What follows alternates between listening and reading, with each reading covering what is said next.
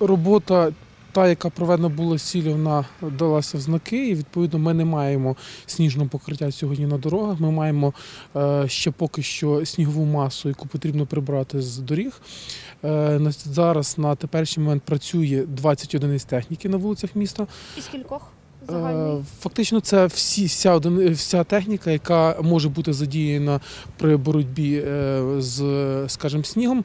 Ми і задіяли важку техніку, в тому числі грейдера, які мікрорайон Раково сьогодні чистили. Е, Залишається на даний момент е, нам почистити лише центр. Фактично, всі мікрорайони, центральні вулиці майже прочищені.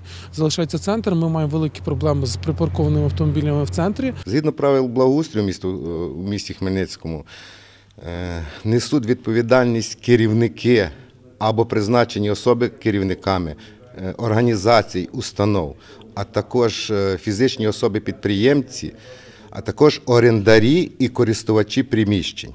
Тобто ми е, на сьогоднішній день е, управління з питань екології і благоустрою можемо накладати штрафи як на орендарів, так і на власників приміщення. На посадових осіб це від 850 до 1700 гривень.